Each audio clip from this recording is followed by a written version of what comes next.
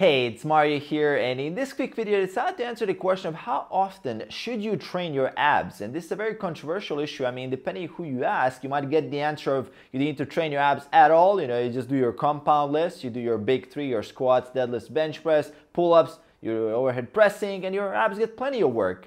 And then there's the other side of the spectrum with guys who are doing 500 repetitions per workout. Every single day they're trying to build up their abs. They're doing countless different exercises and they're claiming that it helps them with their ab development. So which one of these is correct? I mean, what are my recommendations? And I, I mean, based on the current body of evidence that we have and what I've seen from training frequency research, abs respond pretty well for the majority of people in most cases to just being trained same as any other muscle group. So somewhere in that frequency of two to three times per week will probably optimize the development of your abdominal muscles. And then you want to train them in a variety of different repetition ranges as well. I mean, somewhere in that 8 to 12, maybe some work in that 15 plus range will definitely be beneficial. If we're talking about uh, weighted exercises, we're adding resistance and progressively uh, building those muscles same as you would build any other muscle group and also adding some isometric type of work iso holds planks side planks and these type of movements can be quite beneficial.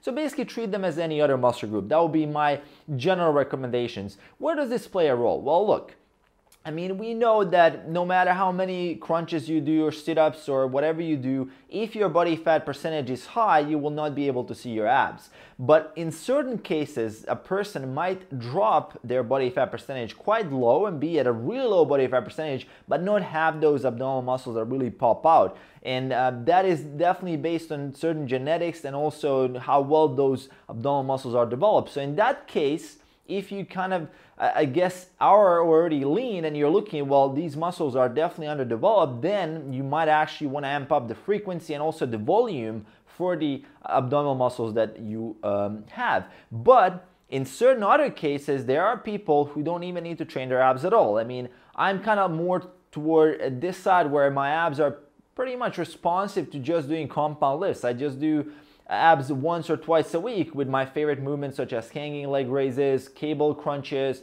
planks sometimes. I mean, I don't need to focus so much on abdominal work. They just genetically look very blocky and they're a little bit asymmetrical, but it's fine, right? They're already popping out. I just need to lower my body fat percentage. And they even show at about 12, 13, even 14% body fat. While for some other cases where I had with clients, I mean, you, they would drop down to 7, 8% body fat, you know, DEXA, all of that.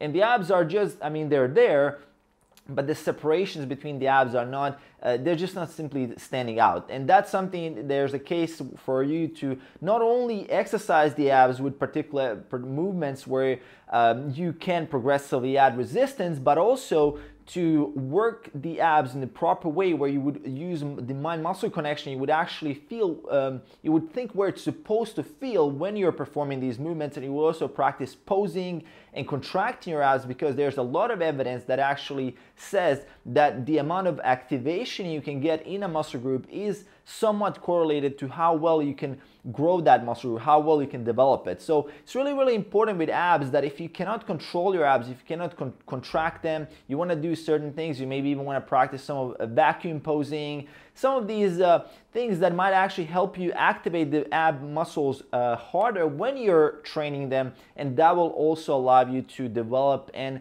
really have that physique that you want. So my two cents here on training abdominal muscles. Uh, key points in the description below as usual. Let me know if you have any questions in the comments below. Aside from that, make sure to hit that subscribe button right in your face to support the channel. And I'll see you guys in the next one. Peace.